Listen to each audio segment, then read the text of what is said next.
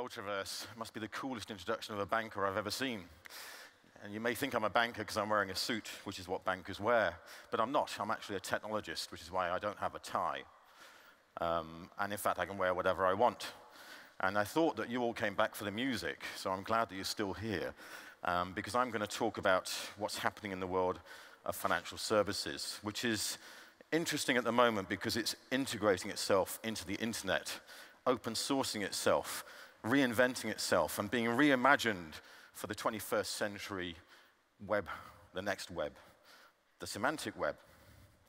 Since the semantic web was talked about a lot a decade ago, and it's not really talked about at all today, even though it's something that Tim Berners-Lee coined as a phrase because in 1989 he became what's known as the father of the web.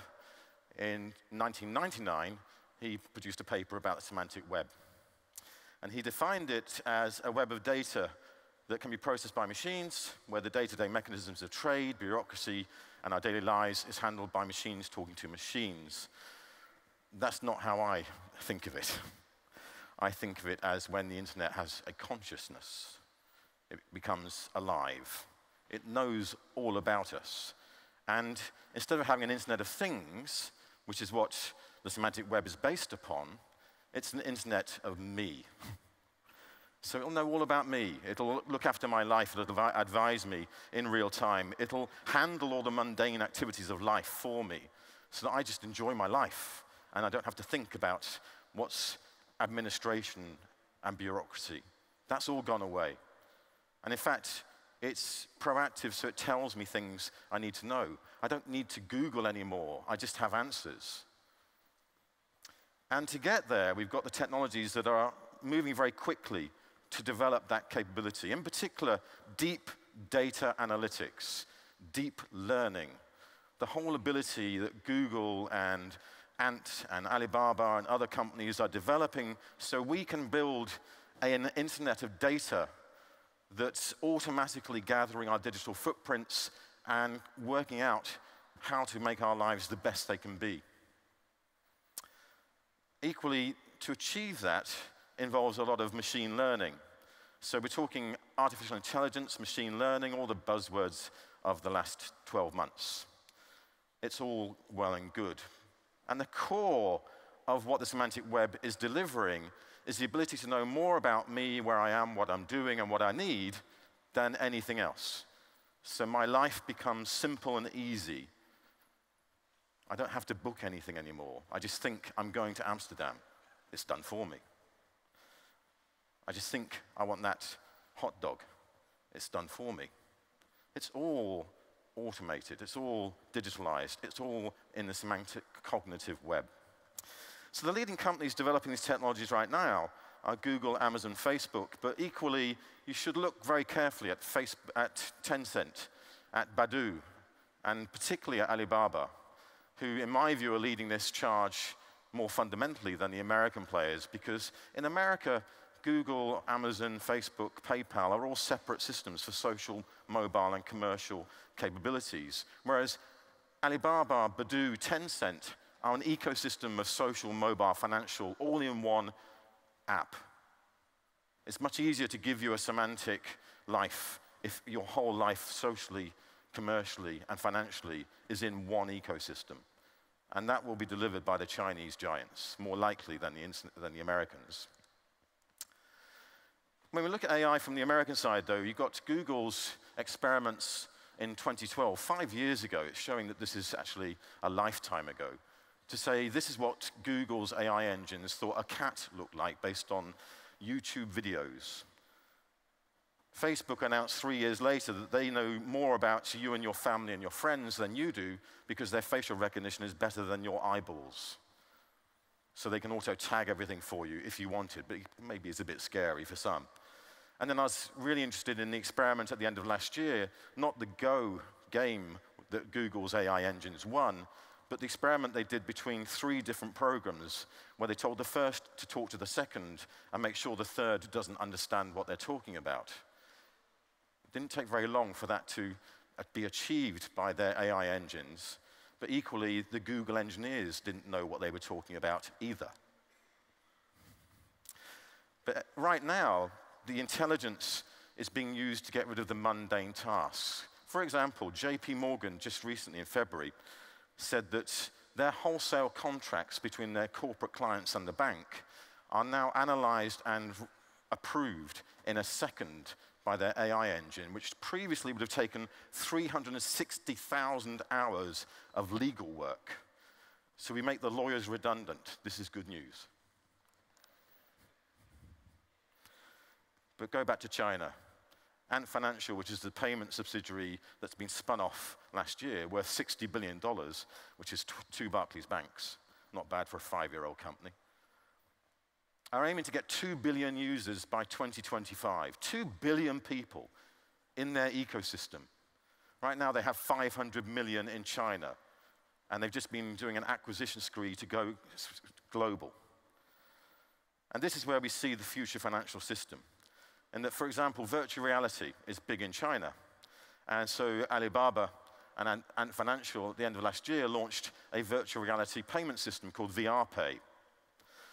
It's quite interesting looking at how they launched it. They have a video where a guy is shopping for a present for his wife in a virtual shop. And he's looking around the virtual shop and thinking, I don't know, shall I buy her shoes or handbags or a new dress or maybe some underwear. I wonder what this underwear looks like. It looks pretty nice. Yeah, it looks pretty nice. Yeah, it looks pretty nice. Everything in innovation and technology is driven by sex. And by being driven by sex, it creates whole new ways of doing commerce and trade that demands a new way of doing financial value exchange. It absolutely demands and mandates. I have to have a new payment system to deal with this new way of doing things. For example, you can even get an internet based refrigerator that serves for porn. I have no idea why you would do that, but you can get it if you want it. Robotics is already moving towards the idea that we're going to sleep with our robots. We'll fall in love with our robots. They'll be our soul partners because they don't talk back. You only have to look at some of the movies to see this idea. And Ray Kurzweil, Google's head of AI, predicts that we will have relationships with technologies that we don't realize are technologies within the next decade. But looking back, every innovation in technology has created a new form of financial system to support eroticism the photographic industry created in the 1830s didn't thrive and succeed until postcards could be exchanged that were interesting. The Gutenberg printing press, you may think was invented for producing Bibles. It was actually produced for the Gutenberg Guide to Intimacy, which sold 10 times more copies than the Bibles. In fact, there's about five revolutions in humanity that have been identified in the last 200,000 years and is a theme of what I'm working on right now. And the main dramatic change in humanity came around 5,000, 10,000 years ago in ancient Sumeria, or Mesopotamia, if you prefer, which is Iraq today. This ancient city of Eriador, which I just showed, is where Basra is based today. And when looking at the ruins of Eriador, a ancient pot was found, which is in the Baghdad Museum and survived the Gulf War. And what this ancient vase shows is farmers coming up to the temples with produce of goods of wheat and barley to store in the temples in exchange for money. Hey, we invented money. Why did we invent money? We invented money so that the farmers could go into the temple and have intimacy with the goddess of fertility, represented by all the ladies of ancient Eriador. So prostitution was actually a thing to be proud of in that ancient culture and was the first profession. The second was accountancy. And where that leads us to is that when we understand how money really works, it's a control mechanism that supports criminal, criminality and pornography and other illicit activities to begin with, so they thrive and grow and create the ecosystem of trade and exchange for the future. Which leads us to the semantic bank, the bank that knows more about you than you do. Which you may say is actually here already. You know, if we invented money 5,000 years ago, we invented banking 300 years ago, mainly to support the Industrial Revolution. The Industrial Revolution meant that we had to go across borders doing trade, and how could you trust money between borders? Because it's not really easy to see why that particular coinage is usable in this particular country. And that's the reason why banking was invented, so that paper could be transacted with trust because the government backs the paper, the check.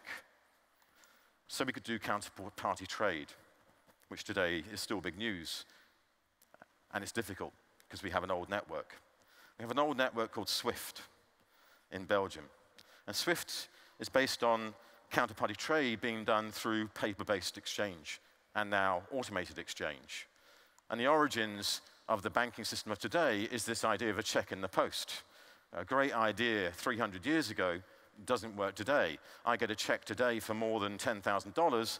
It takes 28 days and costs me $200 to get it processed because of the old counterparty network systems put in place for the old Industrial Revolution era.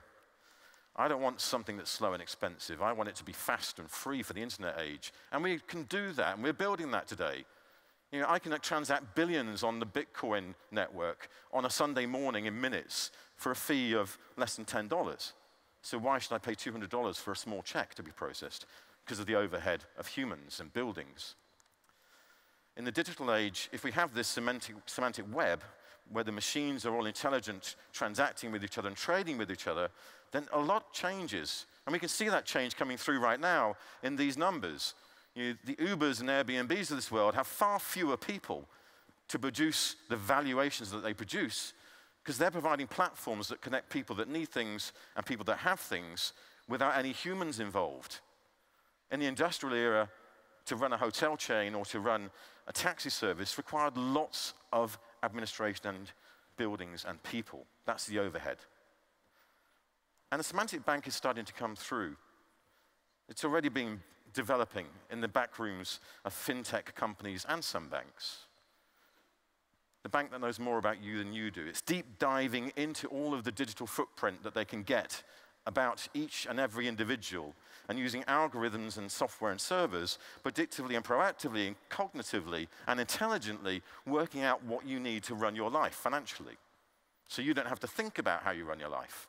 It does it for you because you've given it permission. You said, go and do that for me because I don't want to deal with money, thanks very much. Money's boring. Banks are boring. Should be. Banks are also seeing this flattening of their structures through apps, APIs, and analytics because software and servers have taken over from branches and humans.